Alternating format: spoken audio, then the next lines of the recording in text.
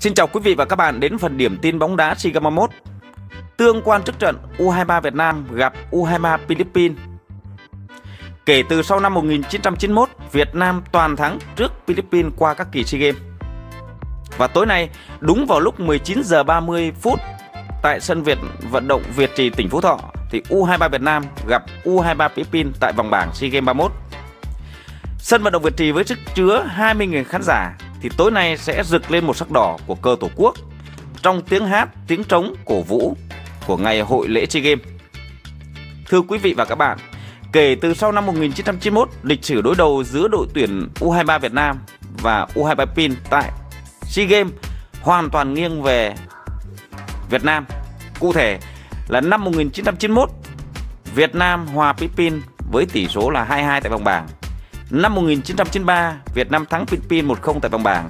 Năm 1997, Việt Nam thắng Philippines với tỷ số 3-0 tại vòng bảng. Năm 1999, Việt Nam thắng Philippines 2-0 tại vòng bảng. Năm 2011, Việt Nam thắng Philippines 3-1 tại vòng bảng. Năm 2017, Việt Nam thắng Philippines 4-1 tại vòng bảng.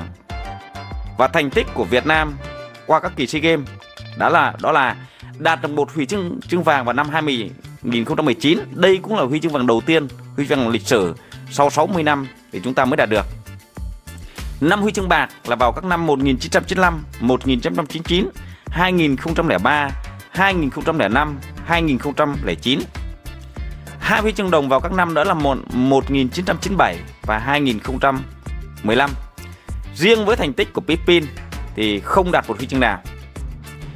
Sau đây thì chúng ta sẽ liệt kê 3 trận phong độ 3 trận gần nhất của cả hai đội tuyển U23 Việt Nam và U23 Philippines. Trước hết là đối với U23 Việt Nam. U23 Việt Nam và U23 Indo, Việt Nam 3-0 tại vòng bảng cách đây 2 ngày. U23 Việt Nam và U23 Hàn Quốc 1-0 ở trận giao hữu trên sân hàng đẫy và U23 Việt Nam U20 Hàn Quốc với tỷ số 1-1 ở trận giao hữu trên sân Việt Trì. Phong độ gần nhất của Philippines qua 3 trận gần nhất đó là Philippines và U23 Timor-Leste 4-0 ở vòng bảng cách đây 2 ngày. U23 Philippines, U23 Malaysia 0-2, thua 0-2 ở trận giao hữu.